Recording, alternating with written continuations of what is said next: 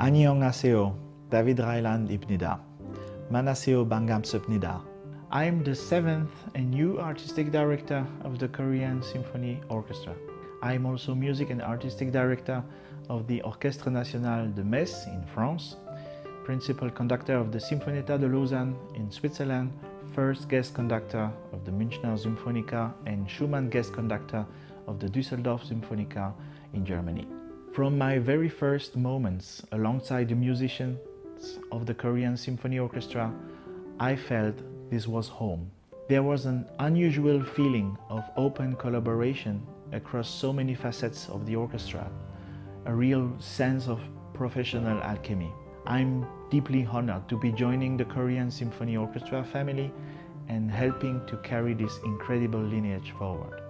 During every performance with the Korean Symphony Orchestra, I felt the same caring, passionate, and generous vibrations coming from the audience. I have so many repertoire ideas and dreams that I would like to realize with the Korean Symphony Orchestra.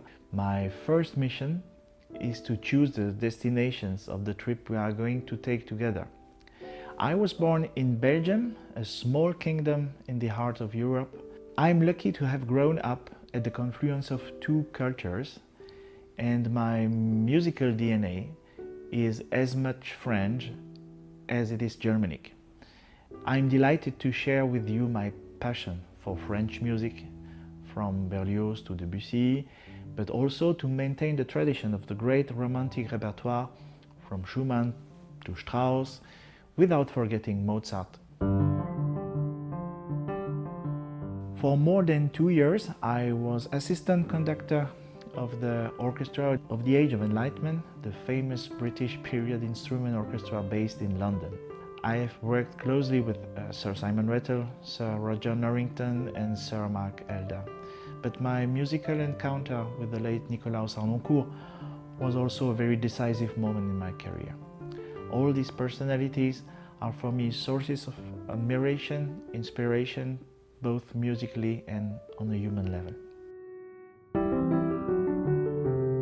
We are here at home in Middelkerke, a small town on the North Sea coast. The sea and water in general is my element. The sea is an inexhaustible source of well-being. It calms down and stimulates creativity.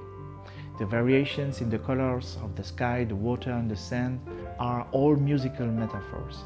And then it constantly reminds us that nothing is permanent except change.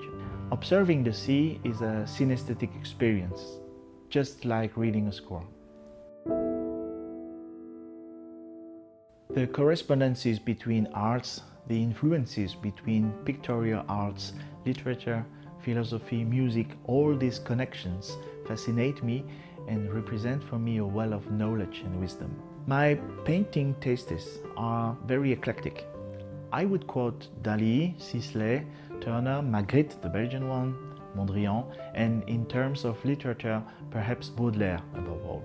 Among philosophers, without hesitation, Heidegger and Nietzsche. I sincerely look forward to meeting you all and getting to know each other. Urigot Manayo